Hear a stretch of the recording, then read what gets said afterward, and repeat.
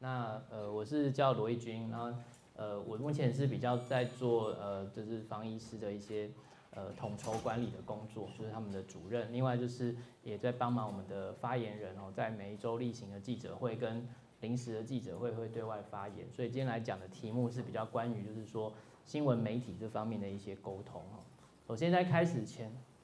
哦，开始我们我们今天会有一个练习啦，就是大家。手上会有一张这个我们的新闻稿，那这是其实是一个写不是很好的新闻稿，好，所以让各位来找查看看哈，你觉得这个新闻稿哪里不好，然后你觉得应该要怎么写？所以我们呃在中间某一个时间点，我们会请各位就是呃两两成一小组哈，然后你们就是讨论一下，你觉得这个把这个新闻稿读过去，然后你觉得以一个民众或你家爸爸妈妈的哦，或者你家小朋友的观点来看，你觉得？这一个新闻稿是不是大家都可以读得懂？那我们其实官方对外界的沟通，目前管道当然很多，可是最正式的方式还是用新闻稿。那这个新闻稿就会经过文字记者或者是电视记者的这个编辑，变成是这个呃讯息，然后各位会接收到，然后各位留下的印象就是我们希望达成的目的。所以我现在要先问一下大家，对于最近热门的传染病新闻哈，你的印象是什么？我们先来问坐在最后面那一排的，呃，哎，右手边那位哈，就是那个私了师前面那一位同学，嘿，对你，你先，我现在问你传染病的新闻，你最最快会想到的是什么？好，登革热哈，正面还是负面的？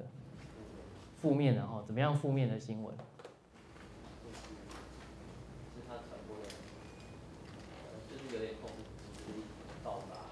？OK，好，控制不住哈。好，那隔壁那位同学，你觉得呢？一样，一样，登革热哈。好，那在隔壁这位女同学。嗯，我看到有人报道他们是日本取经。日本什么？就是看取经，就是去那边看他们的登革热怎么防。哦，我本来以为想说是取精子那个取经。去日本学习他们怎么防治，是不是？哎，有人有人听到过这个新闻吗？听过的举手。不是机关署。呃，不是我们啦，哎，对，我们没有派人去日本。不过为什么我们要跟日本去学登革热？所以你有留下什么印象？说，哎，日本发生什么事情，所以我们会有人想要去跟他学。对，所以那个部分没有达成他的任务嘛，哈，就是但是你有看到一个可能一个标题写说派人去日本取经。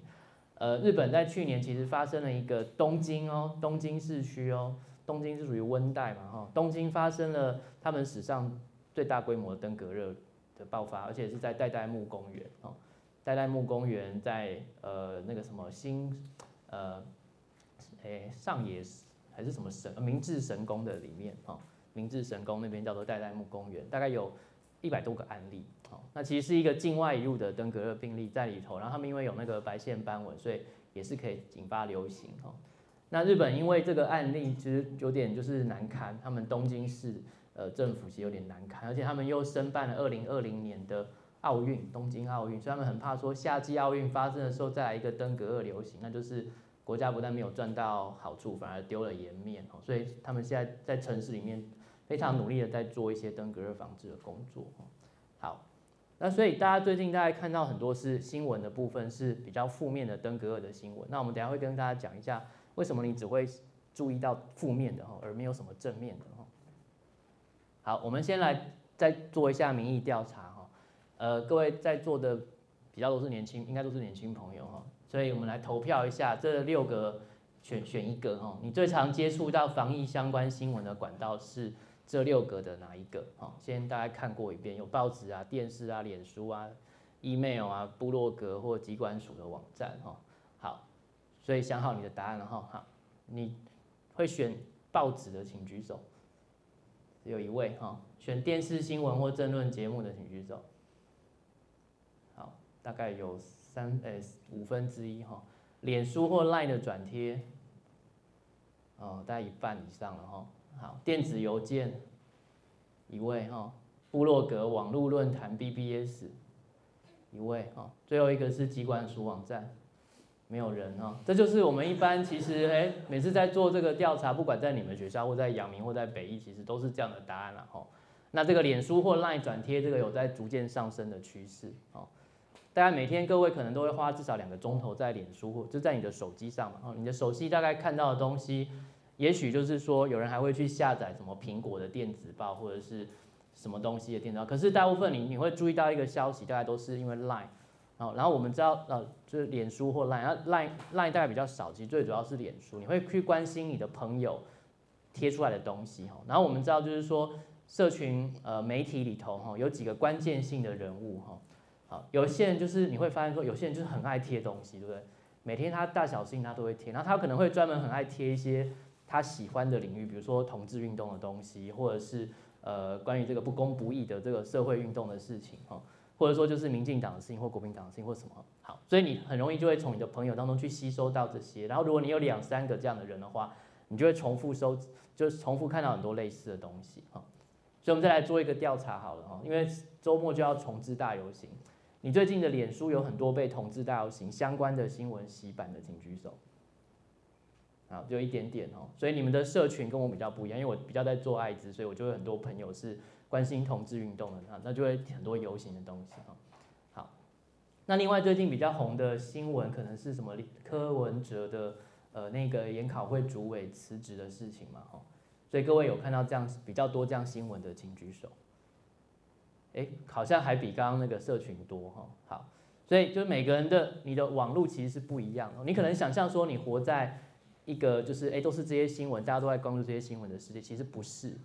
我们很多人都活在不同的平行时空里面。好，那刚刚其实已经显露出说，有些专门只看以报纸或电视、以部落格、电子邮件为主的，就是属于跟很多人活在平行时空的人。那跟我来说呢，我可能。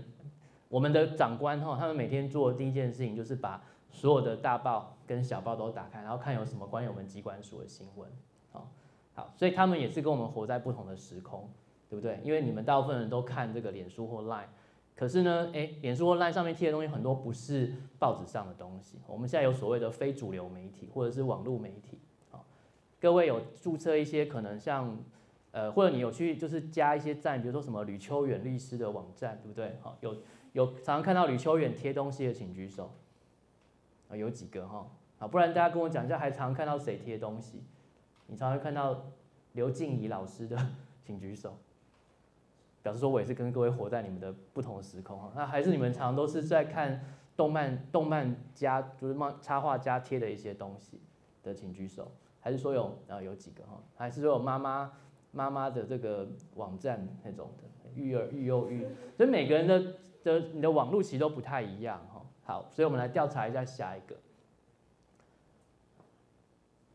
哦，对，我们先调查另外一个好了哈，把这个你换成是你爸妈，好不好？好，再做一次不同的民意调查。你认为你爸妈最常接触到防疫相关新闻的管道是什么？哈，选报纸的请举手。哎，各位的爸妈也不太看报哈，电视新闻或政论节目的请举手。几乎所有人哈，好，脸书或 LINE 转贴。哦，还有几个爸妈有脸书或 Line，电子邮件没有人哈，部落格这些没有哈，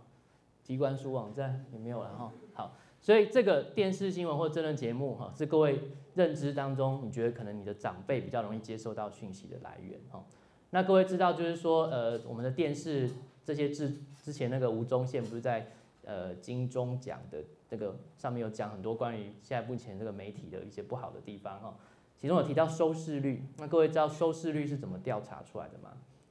你们有接到过打电话问你，你有你现在在看哪个节目的这样的收视率调查吗？没有，对不对？因为他们现在都是用那个机上盒的方式，直接去自动的去收收集，所以现在这个电视现在开的是哪一台？哦，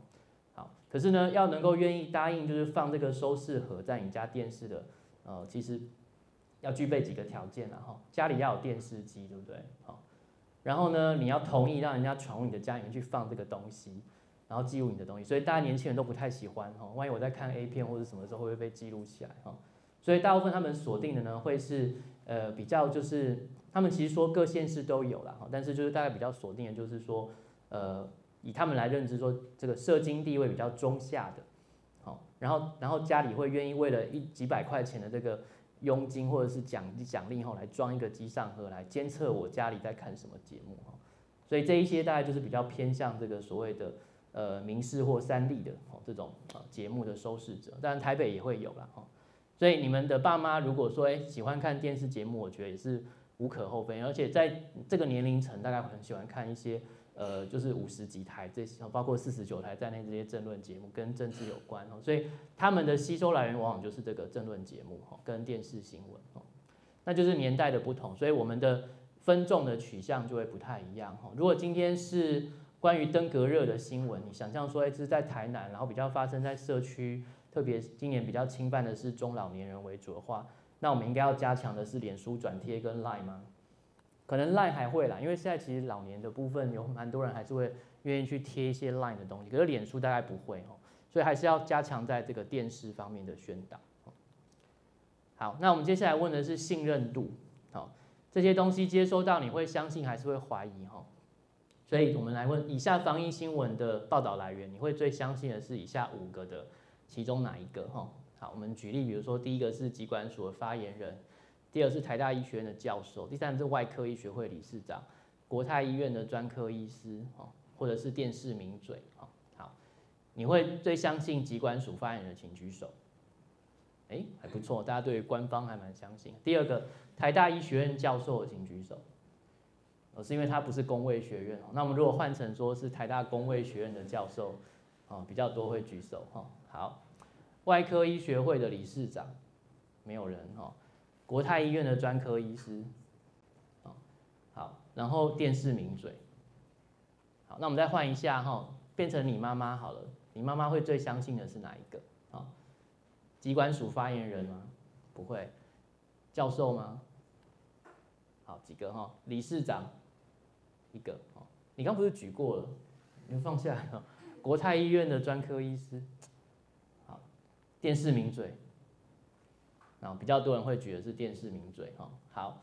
所以我们还是有一些这个叫做 generation gap 哈。然后，所以当你的分众是比较在像我们现在打流感疫苗的宣导是比较针对幼儿跟老年的时候，我们要专攻的可能就是电视哈，然后就像大家讲的，要请出像这种教授级的出来帮我们背书哦。可是这些年轻人的时候，其实你可能请这些教授、理事长，大家也会觉得说这些就是被政府买通的专家了哈，或者说就是御用专家哈，所以还不如我们自己出来发个言还比较好。那我们出来发言的时候，就是要注意，就是说你你当然要注意你的形象，所以我今天打个领带来是这个因因素哈，穿一个素色衬衫。然后胡子刮干净，头发不要梳得很奇怪，然后戴个正常的眼镜，哈，然后讲话的时候就是不急不徐，有条有理，哈，然后不要让大家觉得我全身在冒汗或者掌心在发发抖什么的，这些就是这些就是会增加人家对对于你的信任度，哈。好，那我们来呃看一下这个去年哈，因为伊波拉很这个很厉害的关系，所以。当时有引起一些这个美国的这个呃新闻的事件，我们来看一下这个影片。所以这题外话了哈，就是各位知道，就是你们现在都非常习惯用网络。那如果你到了非洲，好要去做一个卫教宣导，现在其实辅照贵院跟这个比如说马拉维或非洲国家，其实是某些合作是有在进行哦。所以你想要设计一个 YouTube 到那边请大家看，这是可能的事吗？那你可以，然后如果真的网络有的地方是有网络的哈，但是大部分的情形下，你可能要先了解当地文化，就是因为我有去过非洲当过两年替代役哈，所以那边其实你大概就是要用一些歌舞秀的方式来宣导东西哈。各位现在大家都不太会歌舞秀了哈，那就是你可以找当地人，然后跟他讲你要表达的是什么东西，他会编一段剧情，有点像我们那个在中南部如果去那个庙口前面，可能会有一些人在前面表演哈，铁狮玉玲珑等等这种。大家就会吸引那个当地的村民，然后也不是只有老人家，其实大这年龄中，这个老中青通通都会来。然后大家就很开心在那边笑啊笑啊，然后就潜移默化把你想要宣导的疟疾啊，或是优生保健哦，就带进去。所以在不同的地方要有不同的做法。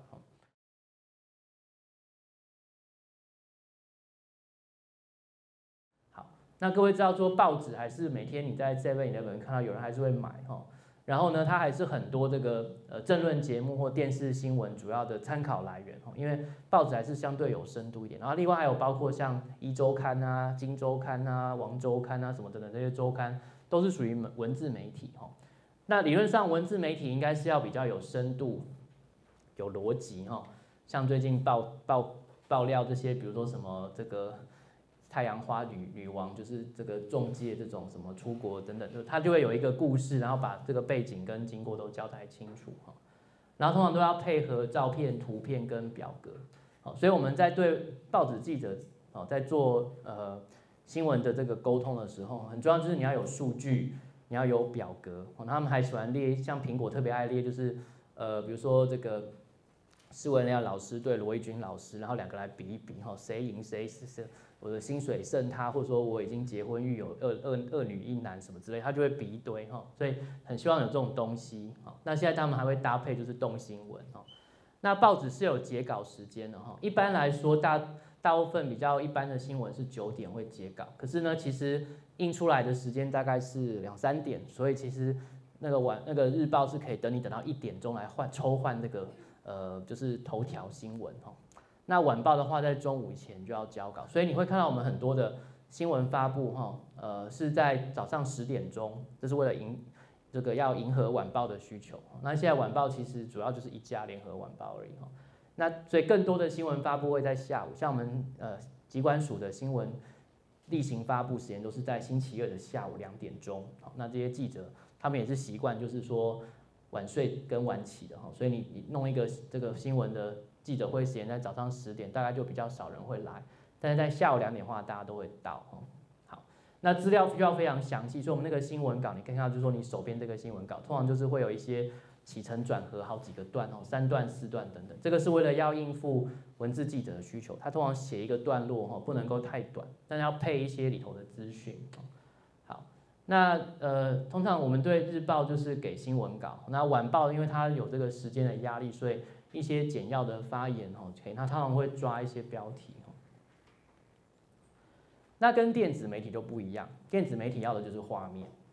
好，画面。所以如果今天各位工位学院爆发食品中毒，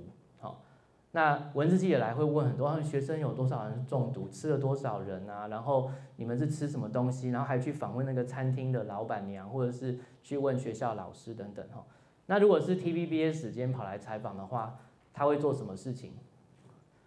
当然就是拦轿喊约，不是，就是拦路拦路拉人，然后哎，某某同学，你是工卫学院的同学吗？请问这次食物中毒你有没有受到影响？哦，没有，是不是？没有，你你还是可以发表一下意见。所以你觉得很可能工卫学院是出了什么问题？你觉得院长需要负责吗？好，你觉得那个餐厅是不是应该要撤换厂商？好，他要抓很多就是这种小的片段，然后最好你可以给他。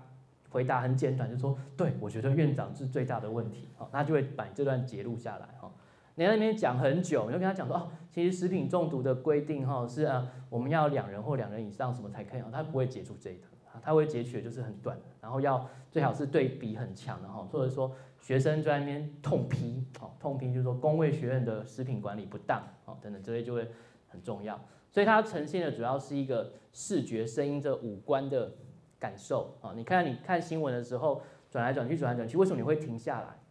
其实就是因为你有受到一些感官的刺激，好，比如说你是看到好悲情哦，那个八仙城堡那么多人受伤，好，这是喜怒哀乐其中的可能就是哀哈，好，有没有喜呢？哦，比如说哎，这个什么某某台湾之光夺下什么什么东西，可能会暂时停留一下下来哈，但是更常停留的是什么？怒，喜怒哀乐里面怒。其实我们人类最，呃，呃，最容易被，就是你最容易会被感受、会被感染的这样的情绪是什么？其实是害怕。好，所以我们很多的新闻制作，就是新电视新闻都是诉诸于恐惧。好，那恐惧的背后其实带有就是无奈跟愤怒了。哈，好，最近大家很愤怒的是什么呢？啊，比如说柱柱姐很愤怒，就是她被撤换嘛，对不对？好，那其实她也是带有恐惧嘛，因为她不知道撤换之后会怎么样嘛。哈。那呃，大家很开心的，比如说蔡英文的这个案子，哎，就是与昌案，哎，某人要赔两百万，等等，就是好像这些新闻都要带有一些情绪，你才会愿意去看，所以这是重视效果而非深度哈。那他需要达成这个五官的感受，就需要有好好的场景背景跟道具哈。你在电视上看到一个画面啊，比如说罗伊斯这样带着领带，然后整整齐齐站在那个工位学院的门口跟记者讲，后面还有一些。树啊，或者是那个背背景哈，那个是需要特别去找过的，就你不会想要说站在比如说士林夜市的前面去跟记者讲话，因为后面会有太多闲杂人等经过啊。那在教室里面呢，又背景太单调，好像刻意刻意营造出来一个情景，所以我们一般就是背景都会有一些东西哈，比如说在记者会的场合，我们后面会有一个看板，比如说中央疫情指挥中心或者是什么呃。防疫系统作战这些东西哈，就一个有个背景，然后就是不用太花俏，但是就是有个背景，那也不要太枯燥。那需要一些道具哈，比如说哎，你有一个呃表格，你就把它弄成一个我们叫珍珠板，拿一个这样板子，然后拿在这边哈，或者说呢，像老师一样指指只是一个长条的这个布告哈等等，这些都是可以做的事情哈。但是更重要就是说你的讲话的内容，各位如果有机会回去看电视新闻的话。它大概会截录你的话，哈，最长不会超过十五秒，多半五秒钟就会把你卡掉。好，好，所以如果说今天访问这个工卫学院的同学，然后同学，哎，同学，就是这次你觉得餐厅的那个老板娘的卫生习惯怎么样？然后你就讲说啊，我觉得那老板娘哈，常都没有戴口罩，也没有也没有这个洗手，然后她的菜其实很难吃。然后有一次我去排队的时候。呃，我还等了很久，然后看到他就是，呃，就是捏了摸了一下鼻子啊，然后还擤了一下鼻涕之后才把菜夹给我。好，讲完了，这样大概二十五秒的时间，你觉得电视记者会截哪五秒钟？我们来问这个同学好了。擤鼻涕，对，因为最有那个画面哈，擤完鼻涕还夹菜给我。哦，好，那。大家都同意这一段吗？好，他可能直接擤鼻涕，或者说前面就是说都不戴口罩、都不洗手这样的。那至于说你去排队，或者说他他没有对你怎么样，那个那是你这个人的事情，他不会管你，他只是要透过你这个机器人，好把他想要讲的话带进来。那如果今天呢某某同学你讲的话都，我觉得餐厅其实做的还不错，他们清洁都处理的很好，他们每年都有在消毒，我觉得老板娘也很认真。你觉得他会截哪五五秒钟？都不会，他会去找下一个同学。好。对，这就是你们看到的新闻是人家选取过的新闻，好，所以呢，你会看到很多是负面的东西，是因为负面的东西才能带得出情绪，才有喜怒哀乐里面的怒跟哀，啊，不能每一条新闻都是喜，如果每条都是新闻都是喜，我们就是北韩了，对不对？好，我们的伟大的领袖又去了哪里？我小时候的新闻是这样，没有错了，哈，对，总统总统李登辉又去了哪里？或者说，呃，党的秘书长谁谁谁又去了哪里？对，好。所以很重要是你的表现的长度哈，每一句话都不要讲太久，讲太久呢，第一个有可能根本截到半句话都没有，第二个呢，你可能会失言。好，各位有常看到一些政府官员在电视新闻上面会失言，其实就是因为讲太久了。好，有他他有时候因为很多是学者转到政坛，就以为说这些记者都是很好学，我想要听你跟我解释，就是说而那个水里面含有铅哈，到底应该怎么样来处理最好哈。就跟他讲了一个钟头的课，好，结果呢，记者最后抓到只有五五五秒钟，就是说没有任何水中含有任何的铅的浓度都是对儿童不安全的，好，就抓这句话，就哎，所以水中不应该含有任何，这句话是对的，但它会有一些后面的一些前提跟他该怎么办这样子，所以呃，anyway 就是这是话多不如话少，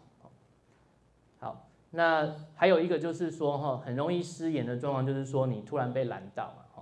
比如说这个同学急急忙忙要赶去下一个地方上课哈，然后呢就被拦到，哎，T 台的记者跑来问你说，哎，那个工威学院食品中毒哈，你有什么看法哈？他说我讨厌记者，你不要理，你不要你不要来，你不要来哈，这样可以，这样不会被剪下来哈。然后不然就是我赶着去上课啦，我觉得学校学校处理的应该还可以吧，也不会被剪哈。好，那很你很急就是，嗯，他们都乱他们都乱来啦，好，可是你的他们都乱来，其实讲的是记者。可他会把你剪下来，说他学生指控说学校都乱来，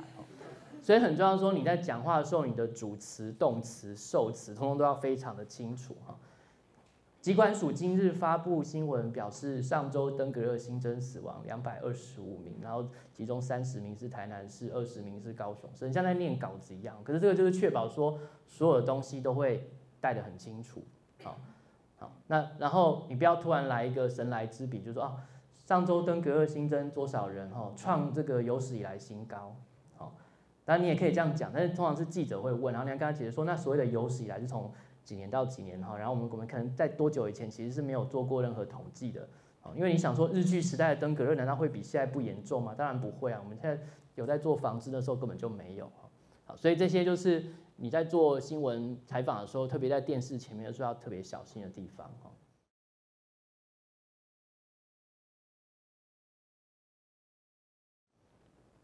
好，跟媒体的互动呢，各位也许有呃，我在我我记得其实有一些记者好像有来工卫学院当学生哦，有没有在做是新闻媒体的从业人员？没有哈，也没有也不敢举手。好，你跟记者互动的时候，其实就是说哈，还是可以当朋友哈，因为你你多跟他们了解聊一聊，你就知道说他们想要的是什么。然后他们有时候其实迫于一些，就是说每年都要生出一些医药新闻来填版面哦，所以你可以喂他一些东西也是不错。那就是说提供他充分的讯息跟背景说明，他们有时候其实也是蛮想了解这一块的哈。那你觉得医药记者里面，呃，有多大比例会是工卫系毕业或是医学院毕业的？很少嘛，大部分都是新闻科系嘛，或者说一些文学院的同学去当记者嘛，所以他们其实对于可能医药这卫生这方面的东西是有很多一些专业知识需要了解的哈。所以为什么医药记者会对于林杰良教授非常的感谢？各位都听过林杰良吧？虽然他已经过世了，不过在医药记者采访的各个过程中，我我我可以深切感受到说，他们都非常的敬重尊敬林杰良教授哈。这主要就是因为。林杰良对他们真的就是会循循善诱，呃，有教无类哈。他可能去问一个很蠢的问题，请问教授哈，三聚氰胺是什么？会会死人吗？哦，可能一般那个毒物科或者是肾脏科的医师就会觉得，这个你先去查一下 Wikipedia 再来问我好不好？干嘛要从那么基本的问题？可是林教授就会跟他，哎，真的是循循善诱去问，而且如果记者问出一些特别的问题哈，哎，林教授还会说。哎，你这个问题我从来没有想过，或我没有念过，我去查查看文献有没有这方面的研究，或者我再打电话跟你讲。然后他其实就是周末也会接电话，也会愿意出来接受访问。然后他对于政府，呃，是爱之深责之切，所以他很容易会提供一些批评性的建议。哈，那这个当然很对记者的胃口，好，所以就会变成是侠客嘛，哈，或者说这个毒物学界的良心等等。哦，那这个就是说，呃。你你如果跟记者能够成为这样的关系，其实也不错，可以提升我们医药记者在报道这一些像食品安全或者是毒物方面的一些水准跟程度哈。好，那我们在新闻处理的时候很重要，就是说哈，呃，这一个哈，第一个大概都会啦，我们都不可能让他翻阅内部文件。那第二就是说，不要因为那个记者跟你比较要好，你就把新闻透露给他啊。比如说工卫学院发生了食品中毒哈，我也很就是。然后因为某某某几个这个电视或广播的记者刚好在工卫学院就读，所以呢，老师因为认识他，就把一些资料就给他说，哎，这个你们帮我们写一点好听的话好不好？所以呢，就由他们先去披露了。那披露了之后呢，苹果啊、自由啊，哦，还有这个新闻台都觉得很生气，哦，很生气，为什么呢？因为你把独家漏给了他，哦，独家漏给了他。在柯柯文哲市长刚上任的时候，其实就犯过这个错哦。他好像就是把一个呃关于大巨蛋，那个是大巨蛋嘛，大巨蛋相关的一个新闻哈，然后可能他的市府团队有些幕僚可能跟 TVBS 比较好，就就先透露了给了 TVBS，其实只是找了大概一个小时哦，好，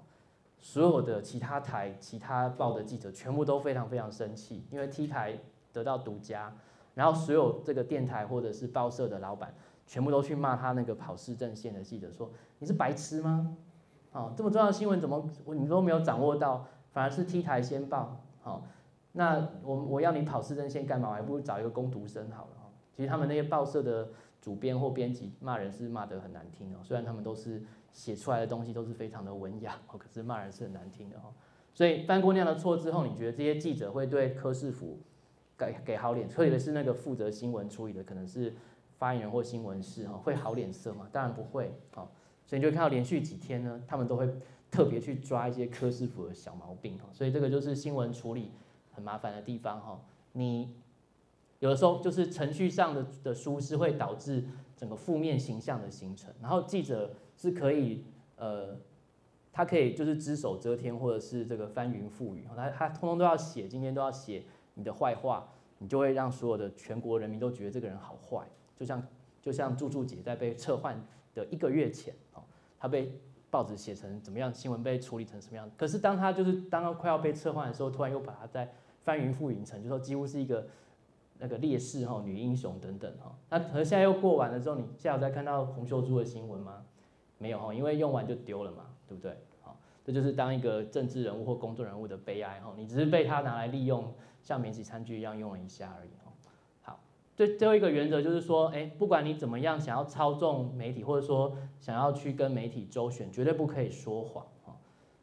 很多我们的这个官员会下台是因为说谎的关系，然后一旦说谎，你的这个信用就破产了哈。那有时候你不想就是那个。讲出一些新闻，比如说我们假如说然后，假如说我今天是农委会农差会的这个主委，然后我们发现哦，其实有一些禽流感正在爆发哈，然后我知道李慧仁这个呃最喜欢来戳我们这个不能说的秘密哈，好，结果呢，哎，好像真的有一些事情在发生，比如说也许我们有一个新的禽流感正在检验当中哈，但是还没有完全确定，可是李慧仁已经透过一些管道知道这个事情。然后记者就跑来问你，所以那个农茶会的主委，请问现在台湾是不是有一个新的流感？那你回答是 yes 还是 no 呢？yes 当然就变成头条，对不对？甚至国际新闻啊。你说 no 是不是说谎？对不对？因为现在在检测中，哎，检测都过了几个钟头之后呢，就变阳性，那你又要再开一个记者会说是，然后人家就会说，那你就是翻来覆去。好，我们曾经遇过这样一个事件，就是在。呃，二零一三年 H7N9 入侵台湾的时候，啊，四月二十一号的中午，啊，我们那时候正在检测台湾第一例的 H7N9，正在做它的病毒序列。那各位有经过实验室，你就知道说，病毒序列并不是说像怀孕试纸一样，滴滴血下去就会有两条线，你要在那边做很做大概几个小时。然后我们的实验室同仁其实前一天晚上就已经在加班赶工在做了，哈。可是，在中午的时候呢，哎，PTT 就爆料了。P 就爆料说，我梦见哦，这个宝山医院里面有一例，呃，台湾第一例的这个 H7N9 的人类病例哈。好，然后那时候记者当然就都来问我们说，那个这这个消息是正确的吗？是不是已经有了哈？然后那时候我们的发言人就跟记者在下午两点的时候讲说，没有这样的事情哦，我们现在并没有确认这个第一例的 H7N9 人类病例。好，那结果下午五点的时候又开一个记者会，就是说我们确定台湾有第一例人类的 H7N9 的确定病例哈。那这个在外界的观感上会怎么样？记者第一个，因为筛选新闻或选取新闻或呃揭露新闻的是记者哈。第一个记者的感受会是说，哎，你前后不一，你反复哈，好，所以是不是在隐瞒些什么？是不是因为被 PPT 爆料了，所以你才不得不出来证实这件事情啊？可是我知道整个过程其实我们就是在检验中而已。所以如果换换一个方式回来，会讲的是什么？好，反正你已经照做，带过几个钟头就要确认，就不如这个时候，就是去对所有记者，就是发一个简讯或通通请他们来，就说，呃，我们预计在几今今天的几点几分哦，会做最后的确定，说到底有没有这一例哈。那呃，目前还在疑似中，还在检验当中。那有最新的消息，我们会立刻跟你们说明，这样，这样就不会被这个外界解读为说你是前后反复不一，所以。这个就是不要去，我们也不能说那个叫说谎啊。不过外界对疫情的东西都非常敏感，我们常常都会被指责说你是在隐匿疫情哈，所以呃非常要注意处理这一块。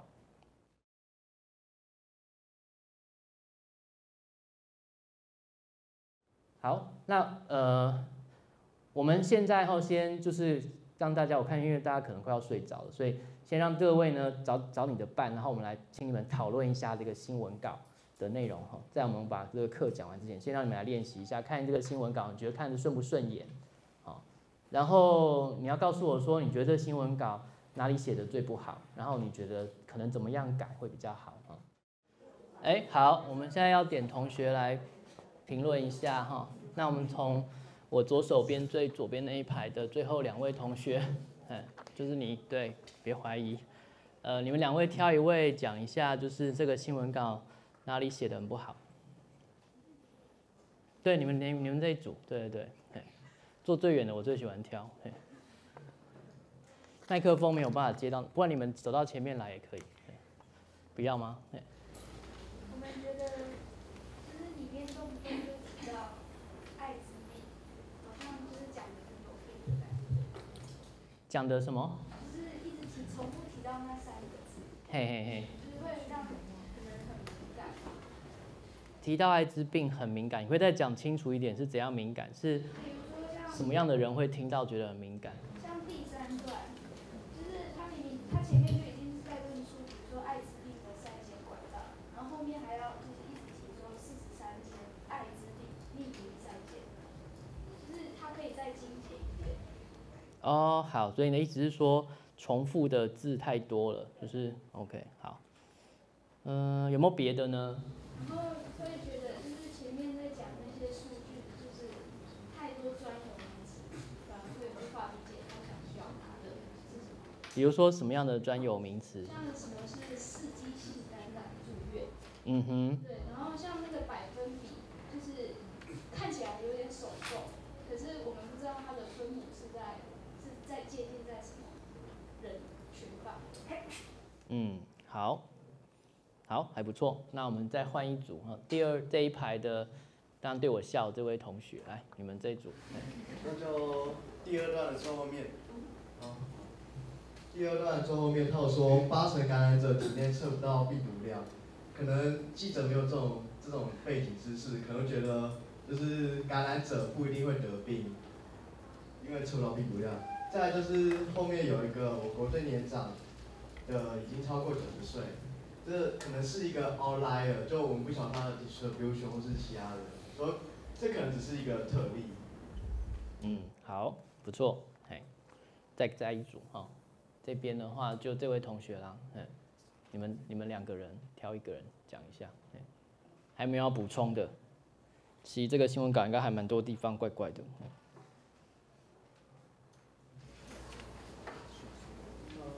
就是一些专说延迟就医跟无延迟就医的话，它的界定是怎么样？呃，还有五年内的死亡率的话，这好像是统计上的名词，对，就可能一般人没不懂这是什么意义。然后，呃，还有一些关于艾滋病的一些，比如说它潜伏期多长。那一些就可以帮我介绍，嗯，好。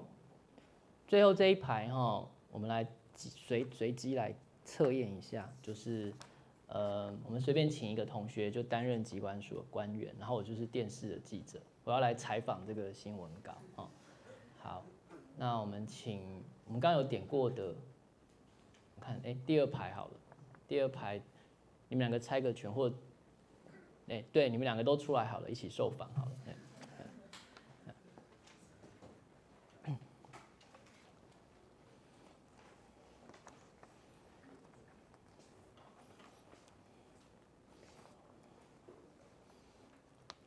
啊，所以我现在是扮演这个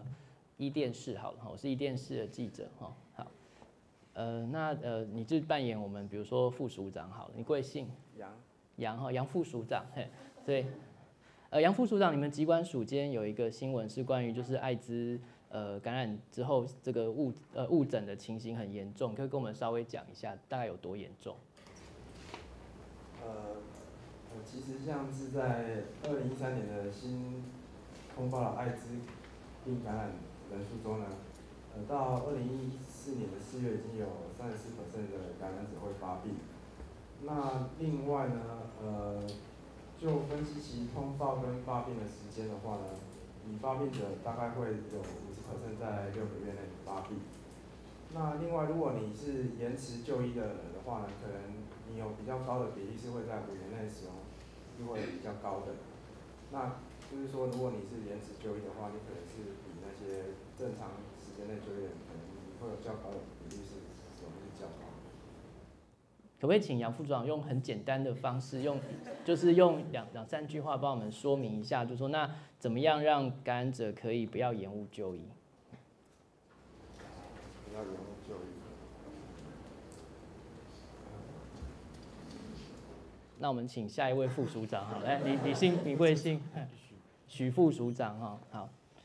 嗯，许副署长想请问一下，说这个艾滋感染者他们延误就医啊，主要是感染者自己的。责任还是医生的责任？那我们就这个画面就是说，这个机关署的副署长就是被记者的问题难倒了哈，对，然后呃，这叫什么？就是嗯，无言以对，好，哎，好，应该不是说要谁负责，就是如果你自己有那种呃危险行为的话，就要自己要有警觉，然后呃有什么那个呃，比如说有用那个针头的毒，有就是要用那个打打到静脉的毒品，然后要跟医生说你有那个那个有风这个风险在。所以我们台湾大部分艾滋延误就医，主要是因为注射针头感染的，是不是？您的意思是这样子？是是，其实在就是某一年就是有那个有很高的比例，就是突然艾滋病突然哦，好好，谢谢谢谢你，嘿，好，两位可以回座哈。你们你们就是呃，提供了很多很好的素材，让我等下可以讲。哎，就是遇到这种哎，其实他也有点照着新闻稿，可是要跟你问一些好像你没有准备，或者说哎，其实不是你想要揭露的这些讯息，或者说就是他他搭着这个题目问别的东西，我们会教你一些技巧，就是你你出来受访，不是代表你本人，也不是你自己知识渊博，你是代表我们机关。所以呢，你在讲的东西讲出去的时候，一定要绕回你的我们叫做呃 key message 哈，你的主要关键的讯息是什么哈？大家觉得这份新闻稿的关键讯息是什么？感染者不要延误就医嘛，哈，延误就医死亡率会很高，然后延误就医，呃，现在其实有有很好的治疗，然后筛检很普遍，所以你可以不用延迟就医的哈。那希望大家多多利用呃等等，但但是因为它写太长，所以你会觉得那个讯息就被就被弄涣散了哈，对不对？所以我们在看新闻稿的时候，很重要是说抓住第一段哈跟标题哈，其实多半的时候关键讯息都在第一段跟标题。这个跟我们在一般写论文写作，或者是你在你在国小的时候学作文那种起承转合是不一样的。我们新闻稿的写作的要求就是说，你所有最重要的信息都要放在第一段。好，因为记者没有那么多美国时间可以跟你这样二三四段看下去。好，二三四段通常都是配稿用的。好，那尤其是电视记者，他一定只看标题跟第一段。好，所以你第一段放了那么多的数字，他就已经有点恍神了哈。对，你还不如就是用一些更平易近人的说法哈。比如说呢，呃，就是三十四 percent 感染者方面，你可以讲说大约三分之一。哦，这样是比较容易讲，民众也比较听得懂哈。好，然后已发病者约有呃超过一半哦，在六个月内发病哦。那五年内的死亡率呢，高达四分之一等等。就是我比较喜欢用的是这种几分之几，因为我觉得民众这样比较听得懂哈。然后你你就可以去避免那个什么百分之二十五或二十五 percent 这种，就是到底要讲正的讲还是英文讲还是中文讲哈。然后那些什么胜算比那种哈几什么东西是什么东西的几倍这种是最难讲的东西。好，因为民众根本不会跟你一样学过流行病学跟统计哈，还会做 two by two table 都不会哈，所以你一定就是讲说哦，他们的这个风险会比别人高，高到多少？高到近三倍，这样就好了，对不对？好，那不要讲很多就是很数字的东西啊。好，我们等下再多回来看这个新闻稿。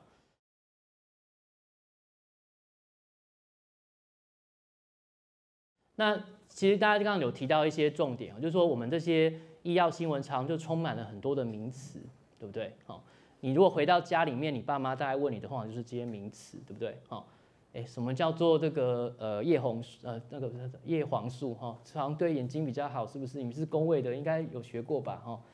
那各位讲一下叶黄素是什么？哈，就是很多这种名词嘛。我们传染病也是一堆细菌啊、病毒啊、疫苗啊等等。可是其实真的这些民众都了解这是什么东西吗？哦，到现在都还有很多人认为说打流感疫苗会得流感。哦，各位觉得打流感疫苗会得流感的，请举手。没有哈，是不敢举还是？哦，为什么打流感疫苗不会得流感？我们来问这位同学好了。对。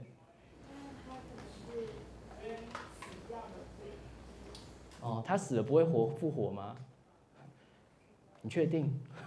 没有啦，它只它不会复活啊，其实也是已经就是只剩下蛋白质的东西了，连 DNA 都没有哈。好，呃，其实流感是 RNA 病毒，所以我就开始用卖弄我的这个知识了，对不对哈？好，那打疫苗哈这件事情，在很多民众来说都是很愿意去做的事吗？好，各位有没有看到昨天我们有发一个新闻，是如果小朋友就就是家长如果不带小朋友去打疫苗的话，哈，然后我们经过催促，他还是不带来打疫苗的话，我们会做什么事？通报社政单位，哈，这可能有疑似儿虐、儿童虐待的情形，哈，然后根据《儿少法》第几条、第几条，我们会请社政单位派人去家里面访视关心，哈，大家听到会觉得说是喜怒哀乐的哪一个情绪？喜吗？乐吗？不会哈，你会觉得说政府真是烦哈，是扰民，对不对？哈，大部分人听到会这样子哈。那当然，它有一些事事件的发生，就是说有一些像呃，去年台北市有一个什么案例，就是好像是十岁的小朋友，然后在家里面就是没有人照顾他，最后饿死等等哈。然后后来会发现说他其实也没有去打疫苗，然后理论上我们看到这样的小朋友疫苗接种记录不完整的时候，我们应该要去主动的关心，然后。如果还是找不到他或呃屡屡劝不听的话，我们要通知社政单位甚至警察去把他做安置等等哦。不过他们就发现说这些在地方上似乎呃存在一个漏洞哈，就是没有去把它填好，所以才会说想要做这件事情。不过对大部分的家长来说，都会觉得说我只是忙，或者说我小朋友刚好感冒啊，所以我没有办法让他打疫苗。他这个月也感冒，下个月也感冒，所以医生都说不能打，那你干嘛要来怪我等等的。好这个是一种，另外一个是很多人对于疫苗，特别是国产疫苗会不放心，好，然后就会觉得说我们的国产疫苗，如果以后有一些大陆制的疫苗，那更那个了哈，因为觉得说大陆货就是黑心，黑心的疫苗进到台湾，会不会疫苗里面还放了一些情报的讯息，我们打进去之后会种在我们身体里面，就会常跟哈对岸有一些情报的书来往等等哈，所以有很多这样的想象，那就是因为这些名词哈，很多人都了不容易了解哈，好，然后传染途径哈。各位知道伊波拉是会透过空气传染的，请举手。不会嘛？它不会透过空气传染嘛？哈。可是你觉得你爸妈会不会知道伊波拉不会透过空气传染？他不知道吗？艾滋会不会透过空气传染？不会嘛？哈。可是你爸妈会知道吗？所以今天如果他坐在公车上，然后邻座的人突然转头跟他说我有艾滋，哈，你爸妈会不会吓死？他会不会回来就说我要去检查艾滋？好。所以这些传染途径，我们可能很努力的学这些微生物什么，我们都学，可是其实家人是不清楚的哈。然后对于防范的可能有很多想象哈，比如说传染病要怎么防范？一般来说，多洗手，可是多洗手好难哦哈。戴口罩，好戴口罩，那要戴 N 九五还是要戴一般的哈？好，那是不是都要把它隔离？哈，我们班如果这边班上有个同学得了艾滋，是不是应该把它隔离起来？好，那得了结核，是不是应该隔离起来？每个病好像又不太一样，有的是接触隔离，有的是飞沫隔离，有的是空气隔离，有的是肠道隔离，就是你拉的东西不要被人家碰到等等，就是所以太多的这些东西哈会让民众混淆，所以每次当一个什么新的疾病像 MERS 跑出来的时候，大家就会开始又疯狂的去说哦我要买口罩啊，要买这个呃洗手啊，然后现在登革热出来之后，大家发现哦不一样，要买防蚊液哈，好，所以下一次如果又来一个新的 MERS，可能又会说。我口罩之外也要买防蚊液，万一蚊子叮到 MERS 的病人会不会传给我？哦，会吗？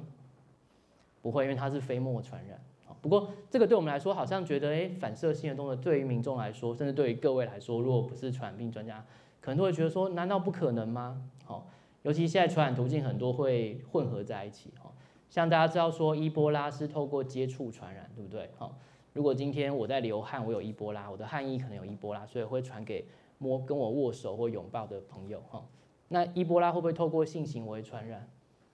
会哦，最近又发现它的在精液当中可以排出到甚至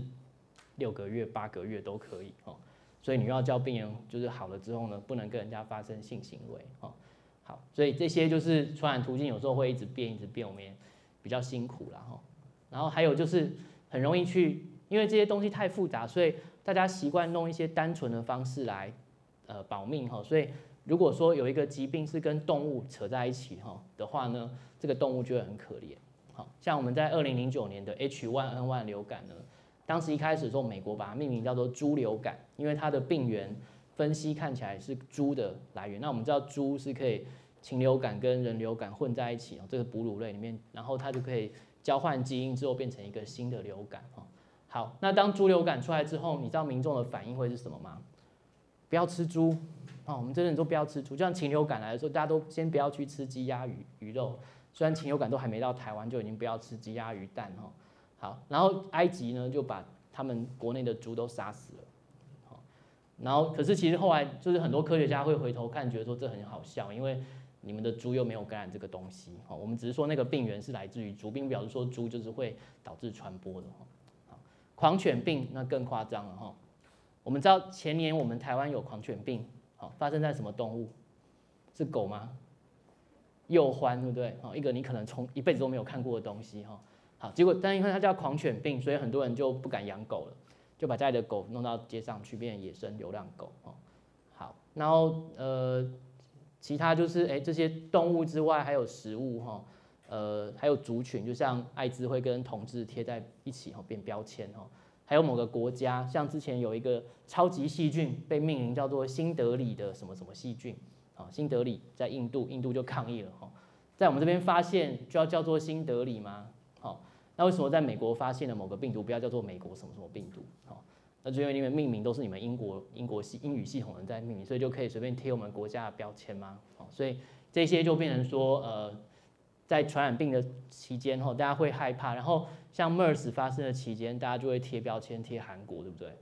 好，拒买韩货，不要去韩国旅游哈。韩国人在街上出现都很害怕，计程的司机再到韩国人会打电话来跟我们报说，我是不是应该呃，疾管局要把他抓起来哈？然后。呃，在台湾住很久很久的韩国人开的这个韩国料理店呢，大家也会很担心，说这个人会不会带有病毒？哦，所以就是民众对于这个传染病很多想象啊。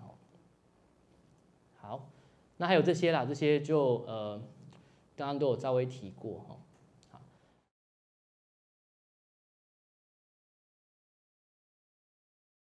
那我们其实呃新闻的沟通这部分在。很久以前哈是做的很差的哈，在 SARS 爆发前，各位大家都很很小，那时候其实媒体媒体每天都在报，每天都在报，特别就是说和平医院封院，然后里面的护理长死掉，医生又死掉，高雄也有医生死掉，每天都是看到这种非常灰色，然后百合花，然后就是呃所有人在街上抗议啊，然后没有大家都戴口罩，然后学校停课等等这些，每天都是好像活在黑暗当中哦。那当时那个疫情后来终于控制结束，就像韩国的 MERS 也控制结束之后，回头来看那时候的新闻报道，民众的民意调查显示，就是说哈，最不满就是太过于煽情啊，喜怒哀乐每天有一些 OK，可是每天都是哀哀哀哀哀哈，或怒怒怒怒怒，这真的是很很累的事情，就是怒同一件事哈。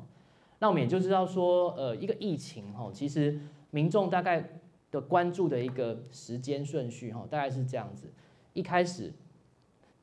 惊讶、震惊，好啊，伊波拉侵入台湾了，好，你们听到第一个反应会是什么啊？这是真的吗？怎么可能？哦啊，好，这是就是一般的那种反应哈。好，那不用很久，大概一两天左右哈，新闻的焦点会转移成什么呢？谁该负责？好，我们疾管署的防疫破功，好，或者说哎，这个人他偷偷的的透过机场没有主动通报，反正一定要找到一个戴罪羔羊。这一套模式其实，在很多的新闻事件都类似哦，大家可以自己去比拟一下哈。好，然后再来呢，好，生气之后，这些官员就会互相口水。之后呢，第三个呢，就是开始要找说有没有人死掉，好，有没有人就是悲情的故事哈，因为这样家破人亡等等的哈。好，大概一个星期左右的时候。大家也累了，媒体也累了，民众也累，然后大家就会有一些开始复就是反复来的声音，说这个疫情难道我们没有办法控制吗？我们难道没有什么正面可以做的事情吗？哦，所以就开始去访问，比如说照顾这个病人的医师，然后把他捧成像英雄一样，哈，就是哎英雄这个防疫的英雄，我们需要这些防疫的战士，哈，好，然后大概再过一个礼拜，开始讨论的呢，就是一些花絮了，好，哦，比如说。呃，哦，这个伊波拉会透过性行为传染，所以建议大家发生性行为前要先确认对方有没有伊波拉之类的哦，这种哦。好，再过两个礼拜呢，没有新闻了，就是这个有点像人人对一个新的事情的一个过程，就是啊经过一段时间你会陷入一个呃无聊期或不反应期，就是说这个东西每天都在炒伊波拉，每天都在炒登革热，好烦哦，有没有别的东西可以看哦？就像登革热的新闻在。九月的时候，每天都在报，啊，每天都在追数字。现在各位还有看到这些新闻吗？其实还是有，中央社每天还是会报，可是呢，四大报都不太讲了，好，然后你们的脸书或呃烂也不会有人去转贴这些东西，哈，所以就是我们人对于一个新的东西的一个呃习惯性，哈，但是当媒体操作于呃一直这样两个月、三个月都在弄这些东西的时候，民众会生气，哈，负面消息报道太频繁，哈。还甚至报道错误的消息哈。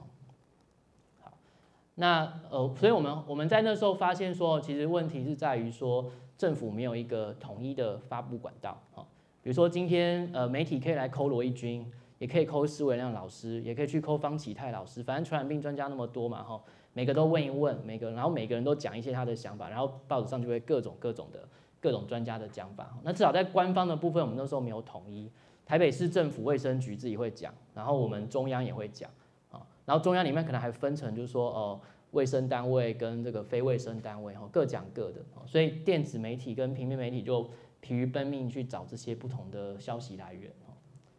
好，然后呃，这些就是可能各位比较不会碰到，不过就是说疫情常常都会遭到泛政治化，尤其在选举年，好，今年是选举年，对不对？好。所以登革热当然会是一个很好的题材啊，哦，这个赖神对不对？他如果今天发生在台东县，谁会管他？但他发生在台南市，对不对？好，然后赖神又是这个民意调查第一名的县市长，哈，好，然后当地又出现这种他不经议会议长，一直要他经议会等等这些事情，所以登革热当然就变成一个手段来作为这个政治操作的目的，哈。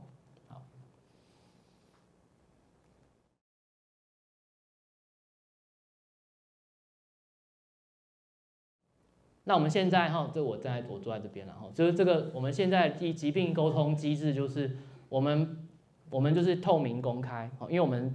绝对不要被民众或者媒体批评为我们隐匿疫情，一旦隐匿之后，民众就不会再相信你了哈。你们刚刚一开始票选那个什么机关署发言人，你们还觉得信任度还算最好，如果我们一旦隐匿疫情，你们就不会相信我们，你们可能就会相信电视名嘴了。所以我们有一个发言人制度，就是我们全署。如果要对外说明的话，一定只有一个人可以讲。好，那这个人就是刚刚的杨副署长、许副署长，其中一个副署长，他们每四个月会轮一次哈。所以这时候坐在那边当发言人的是周副署长。哦，但是他有一些东西可能呃需要幕僚帮他做进一步的说明，或者是一些呃比较琐碎的东西的话，我们会有人坐在他旁边做解释。所以这就是发言人，但是记者只能抠他。好，记者半夜晚上。呃，周末要扣都只能扣发言人，那我们就只有单一的窗口啊。这个是我们 CDC 机关署的制度啊。我们为服部其他的单位呢，不一定有这样的发言人。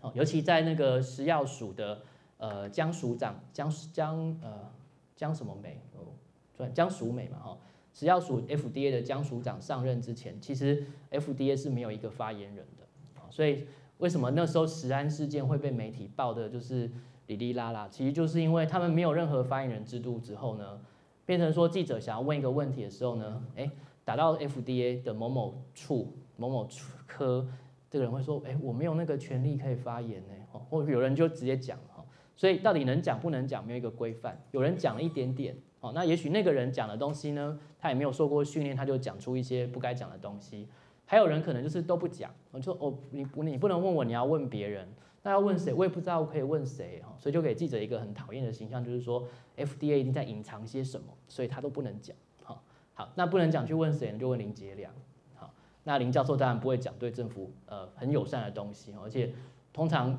FDA 开会也不会去找林杰良来开，所以就是哎，这个新闻就会慢慢的滚出一些呃民众比较看到负面的东西哈。那他们现在已经痛定思痛。已经有发言人制度哈，而且江副呃江署长他也是呃很好的一个沟通的角角色哈，所以呃虽然说我觉得他上任这几年还是陆陆续有一些实案事件发生，不过基本上呃沟通的机制 FDA 这两年算是已经进步非常多，从记者的观点来看，他们已经比较透明跟公开了。好，那我们另外呢还有就是这个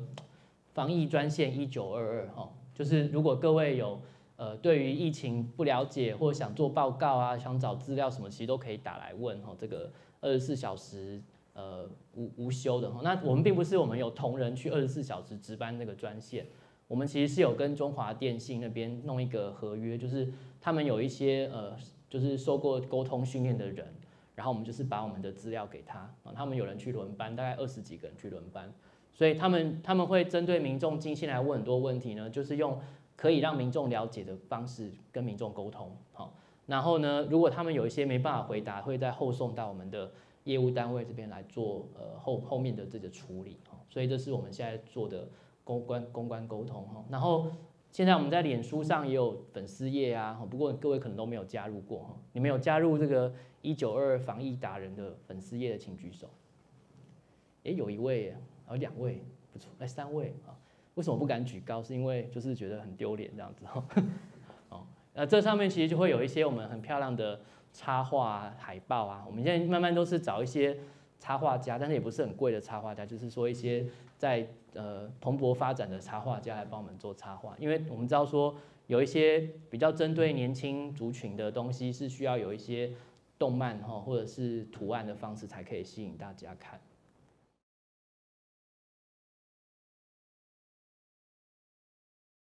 好，大家刚刚有大概看一遍嘛哈，那因为声音不太清楚，所以你大概只能盯着荧幕看哦。那我其实也叫你们看这个荧幕，这个是美国 CDC 美国疾控中心的。呃，他其实不叫主任，他是他算我们署长啊，就是呃 director 这样子啊，所以他是疾控中心的呃署长好了哈。好，那他之前其实是美国纽约市的卫生部部长，他后来被被抓来呃中央联邦的 CDC 当这个主管哈。所以当那个伊波拉在美国发生的时候，呃，第一例去年十月的时候，是他自己亲上火线来开记者会哦。那这个记者会。呃，那时候我刚看，我是觉得他表现还不错了哈，所以我想请各位看一下，就是说你觉得，呃，以这样的一个英米这个形象来说，你觉得他哪些地方对于这个沟通来说有加分？好，来，我们就问这位女生，对，嘿，不要管他的台词，就管比如说，就看到这个画面，你觉得不会加分？就蛮蛮一般的啊，中规中矩的。好，我们再点一点点看看哈，有没有看到一点点？啊，其实他的表情啊是会随着他讲的话内容有改变的。他一开始讲说哦，我们很担心这个病毒，所以他整个眉头都皱起来没有？那他刚刚又讲说啊，我们看到有有一些迹象显示说我们越来越懂得如何去控制这个病毒啊，这其实是废话。你仔细想想看，这句话其实是一个废话。它到底表示些什么？我们我们有更多迹象显示，我们越来越懂得如何去控制这个病毒。可是你其实没有控制住啊！我是说，你只是比之前可能多知道一些事情啊。可是这句话听在民众心中会觉得说啊，政府好像有知道一些该做什么事哈。对，这只是就是沟通的一些话术了哈。好，我们再看下去哈。刚刚是不是又讲了一些废话，对不对？啊我们看到一些什么鼓舞、可值得鼓励、鼓舞的进展，他也没有讲的是什么样的进展，对不对？好，但是他又讲说这场抗战将是艰难而持久的，哦，他给人一些希望，又给人一些这个挑战，对，好，那重点就是说他他其实讲的东西是民众都听得懂的，他没有在跟你卖弄，就是说，呃，我们知道伊波拉潜伏期最长可以到二十一天，然后就是多了一个潜伏期这个英文字，或者说啊，对抗伊波拉哈，可能需要。R 零要计算到降低到多少以下才可以什么？这都没有，他都没有讲这些专有名词，他就是用民众可以听得懂的话哦，要抗战要持久，然后艰难。但是呢，我们的政府已经看到一些契机，什么可以越来越控制住，然后我们有一些取得一些呃值得鼓舞的什么进展，其实都是一些都是一些我觉得是很空泛的东西不过听在一般民众的心里会觉得哦，他而且他的表情够诚恳。他的他不是说只是刚像刚刚那个杨副署长一样，只是在念赶稿这样子哈，对他他是好像背得住他的台词之外，他也知道说他是要讲的是什么，所以表情会随他移动哈。好，所以各位就知道说哈，电视上的沟通其实就是在演一场戏，你要让民众觉得说你投入，然后你诚恳，然后你知道你在讲什么，好，那那个眼神啊，那个表情远比你讲出来的话也许更重要，所以这就是这一段影片要给大家看的东西。再看下一段，好，这个上知天文下知地理的，哦不对，不是保洁哈，是这个，他其实是气象专家嘛哈，现在也是在主持真的节目。各位觉得这个东西有没有吸睛？你会不会愿意继续看下去？啊，你爸妈也会继续看下去？为什么？我觉得他的画面这个画质都超差的哈，然后他他为什么会吸睛？是因为第一个，它诉诸于什么？我刚刚讲，喜怒哀里面其实最重要的是恐惧，啊，他就一直用恐惧来诉求你，哈，啊全面失控啊，然后会变僵尸啊，哈，然后恐怖，你看底下还有还有人脸书在 po 什么恐怖的病毒什么的哈，所以这就是他即时互动，嘿，所以所以就是哎诉诸恐惧，然后另外呢，他的语气非常的抑扬顿挫，哦，这就是我们官员比较没办法去用这一招哦。如果你今天看到某一个部长的讲话，还是啊，惊惊惊惊惊哦，那个我们这个全面失控的病毒即将来袭，各位知道吗？我们现在最严重的是什么问题？等一下广告后告诉你哦，这当然不行这样子啊，所以我们我们只有我们的这种官腔官式的这种说法，可是主持人他可以这样子做哈。好，那他其实就是透过这样的东西，大家都会看，然后大家就比较不会去看那个 CDC 主任或博士讲的东西，所以你接收到的讯息就会说伊波拉变异了哦。WHO 宣告全面失控，还有活尸什么，然后就开始觉得这个东西好恐怖，好恐怖，好恐怖哈。好，所以这就是诉诸于这种媒体的呃一另外一种手法哈。其实我有时候也要很感谢他，就是说他讲的东西也可能是我投影片会讲给同学听的，可是他就是可以用这种。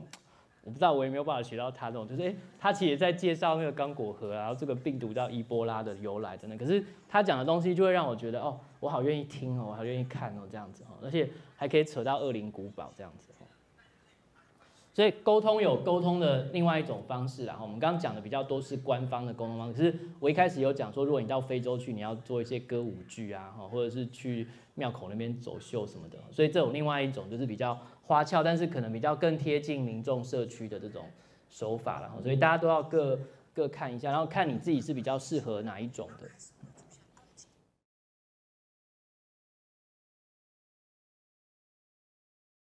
那我们的传染病里面其实有一个特别的病，艾滋病哈，它的沟通是比较复杂。那为什么选这个新闻稿？刚刚有同学提到，就是说艾滋病比较敏感哈。那呃。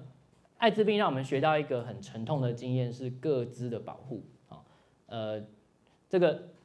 新闻发布的时候，媒体会不会想要泄露你的个资？当然想要泄露你的个资啊。哦，就像昨天的新闻，有八仙城报一个一个人又死了，对不对？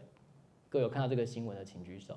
啊，就是那个唐美娜的儿子哈，所以他把唐美娜是谁，唐美娜儿子的名字，通通都写出来了哈。我们一般人死掉会有新闻这样跟我们报告吗？不会嘛，哈。好，那如果今天我是八仙城报的死者，那这件事情又已经隔那么久，为什么媒体要去报这件事情？哦，他很明显就是他闻到了说，这个人当初闹那么大的一个新闻，就说他去呛，就是说新北市没有给他更多钱啊，或者什么，就是然后还是会长，所以他儿子死掉会让很多人可能觉得说。心就是什么，就是心有痛快感哈。我有一个呃，我们我们退休的一个同仁在脸书上就 po 说，呃，老天有眼，我就想说哈，这个人都死了还写说什么老天有眼，所以有一些人会因为这样获得一些情绪哈。那死掉的人因为已经不受法律的保护，就各自法只有保障活人，所以很可惜，就是说他确实是可以被媒体这样随便报道哈。那有时候媒体也会来想要探听我们这些法定传染病的讯息哈，比如说 H 七 N 九那个第一个个案从中国来的时候，他们就很想打听说这个人是什么台商，那是在哪一个城市哪一家工厂，然后他可以去访问那个工厂的人，可是我们都不愿意泄露哈。但是最后呢，是那个公司的人自己在大陆哈的人泄露，所以媒体还是知道那是谁。但是我们有传染病防治法，就是限制我们主管机关不可以去透露。病人的这些隐私哈，好，那我们来看一下这个澎湖事件哈。澎湖血龙事件其实发生在哦将近二十年前了哈。当时就是说呢，这个学童因为车祸输血感染艾滋，然后呢，呃不知道为什么有一个记者就知道这个消息，而且也没有经过当事人跟家属的同意哈，就发布说澎湖有一个学童感染了艾滋哈。好，那这个新闻出来，民众会关心哦，第一个。它发生在这么偏远的一个地方，而且是一个小朋友得艾滋，好可怜哦。他到底怎么得的？会不会有什么我们自己小孩要注意的事情？啊，输血会得，好可怕。那我们有没有什么输血可以做的防范等等哦？可是对于这个个案来说，澎湖那么小的地方，然后新闻一报还报了，就说他是住在比如说哪个附近，他就读哪个学校，其实一下肉搜，那时候也没有脸书，没有网络，可是在当地其实很快肉搜就会肉搜出来这是谁，因为车祸的小朋友可能就没有几个嘛。好，好所以呢，哎，澎湖就知道这个小朋友，然后开学之后呢，所有的小朋友都不愿意到这个班上来上课。啊，虽然我们的官员还跑到那边去逐一说明，然后我们都知道说艾滋不会在学校里面传染，可是呢，家长就是没有办法脱离那个恐惧，都不让他学校的学生去上班哦，要上课哦，所以最后就是这个小朋友只好转学。哦，这是一个很沉痛的一个经验哦。所以我们有另外一个法，哦，各位知道我们传染病有两种法，一个是传染病防治法，规范所有的法定传染病，但是我们还有一个特别法，就是艾滋的法，叫做人类巴拉巴拉巴拉巴拉权益保障条例哈。你看到这个地方很特别哦，哦，传染病防治法有没有传染病防治及传染病感染者权益保障法？没有，对不对？感染者呃全传染病的感染者的权益是不用被保障的，这句话对不对？不对嘛，哈，可是我们没有那个法，啊，我们那个传染病防治法里面只有，就是说我们不可以去无故泄露这些传染病个人病人的个资，可是那个法律的名称并没有权益保障这几个字，哈，可是 HIV 的法律就有，哦，这是因为 HIV 的呃这个事情权益保障非常非常的重要，因为你如果一旦呃没有保障他的权益，泄露很多个资的话，其实他会遭受到非常非常大的一些呃侵权，哈，所以。我们在这个条文的第四条特别讲到说，不可以对他呃歧视，特别就是说也不可以对他录音、录影或摄影哦，除非他自己同意哦。那另外就是我们哦的罚则会比传染病防治法的罚则更高哦，要罚三到十五万哦，就是如果如果无故泄露的话。好，那所以我们针对那个媒体，就是有很多的这些在教育，就是说，特别是在艾滋的新闻处理方面哈，不可以去。呃，就是太过于呃去报道那个个案本身的事情哈，就是减少那个刚同学提到就艾滋、艾滋、艾滋很多这些敏感的字眼所以应该减少内容涉及艾滋的字眼。特别就是说，呃，苹果日报他很喜欢去报一些艾滋鸳鸯大盗抢超商哦，那我们就会问他说，那你怎么没有去报说 B 肝鸳鸯大盗抢超商啊，糖尿病的鸳鸯大盗抢超商，为什么就是艾滋？啊，抢超商也不让他得艾滋，或者说抢超商也不会让艾滋传播，可是，一旦提到艾滋，大家就会哎眼睛一亮，比如说什么什么轰趴得了艾滋，哦，或者说有毒贩哈，然后也有染艾滋，然后咬了警察一口，什么这些就是很容易会引起大家的这种情绪，哦。所以好像就影射说艾滋感染者很危险，这些负面刻板印象会被加强，所以我们有呃这样的一些建议，哈。好，还有就是像这种什么吐口水。大家知道口水会传艾滋吗？会的请举手，不会的请举手。还是有些同学不知道嘛？哦，口水不会传艾滋哦，所以我跟你接吻是不会得艾滋，我喝你的口水不会得艾滋。这个是呃，应该再再来会有会有我们的防疫师来跟各位讲关于艾滋的一个传染途径。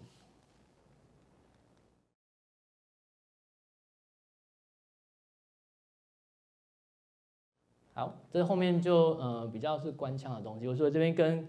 各位讲，就是说呃新闻处理的部分啊，我们就是把民众跟媒体当做顾客哦，然后呃有时候媒体会一直想要挑衅我们的情绪哈，那我们就是只好像服务业一样哈，哦就各位遇过 OK 去那个餐厅一直要跟他撸撸撸，我们餐厅的服务生也只是只要应该跟他道歉道歉哦，叫你们店长出来好，我们会请我们店长出来哦。你们都是猪啊！是是是，嗯，谢谢你的指教哈，等等哈，所以绝对不要跟他起冲突哈。就是说，I won't be angry 哈，I have high EQ 哈。我们不是陈明勋呃研考会的那个陈明勋，我们不会在议会跟人家起冲突哈。我自己也是经过立法院被呃委员质询哦，不过还好就是全身而退好，那刚刚有练习那个发言哈，所以。我们现在来问问一下我们杨副署长哈，那个，你现在回头想想看，你的发言有没有跟这里面哪些地方是没有吻合的？感觉好像没有充分准备。呃，对啊，那是因为我临时把你叫出来嘛，哈，好。然后发言也不够简要。嗯。然后感觉好像不是很正好，那你要不要再练习一次？我们再给你一个机会再。哦，我这次用比较那个，呃，我们再问一下许副署长好了。对你，你觉得就是说，回想起你刚刚的那个发言的练习，有没有什么心得？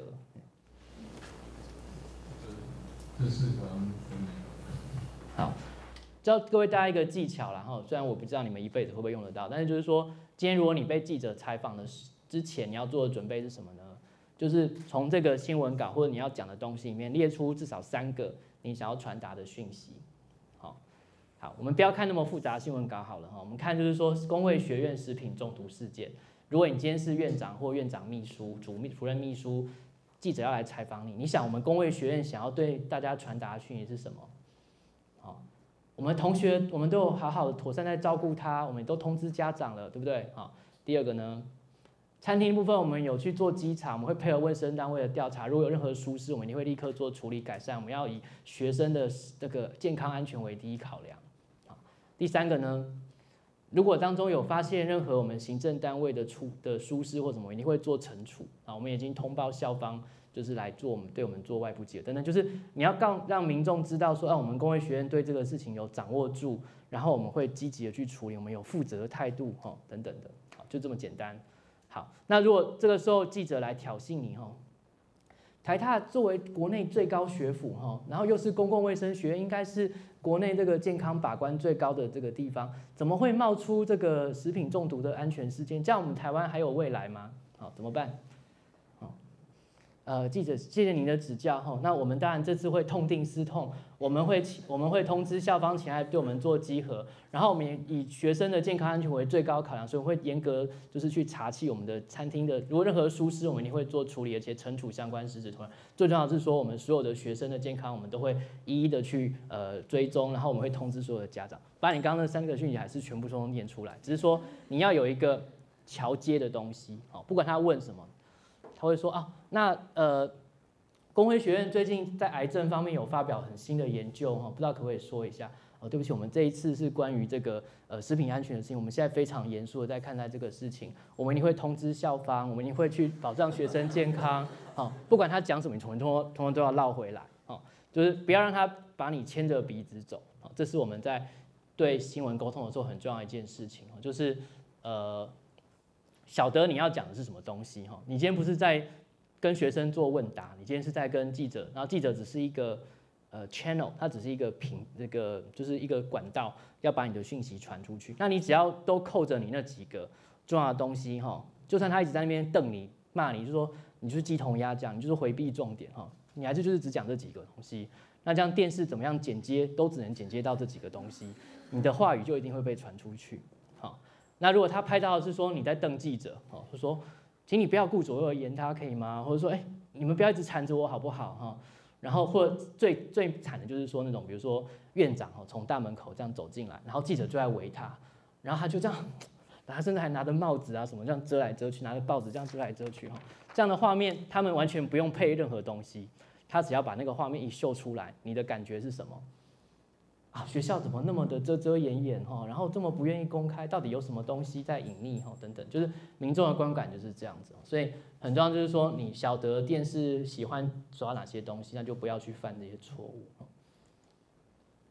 好，然后对这边有提到，就是说尖锐性的问题，你就要心平气和的理性回应哦。比如说，请问你，请问院长，你觉得你该不该下台负责？该负的责任我一定会负。好，我们已经通知了校方，我们已经我们会我们组成专案小组去针对学生做关怀的那个，哦，不要做不必要的回应了哈。觉得你什么时候会递出辞呈？好，呃，这部分我想就是我们会留在校方做决定。不过呃，我们该做的处理，该该追踪同学啊，该呃滴督稽稽查及餐厅什么，通通都会哈。就是好，所以就是你还是尽量表现出一个。呃，平和啊，诚恳的态度了哦。对，好，反正就是今天跟各位讲一下关于新闻沟通的东西哈。那时间差不多，有没有什么有问题？你觉得你未来有可能会跟记者打交道的，请举手。一位而已，哎，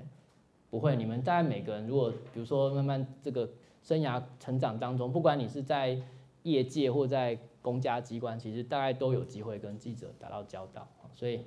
呃希望这堂课对各位未来会有用，就这样，谢谢。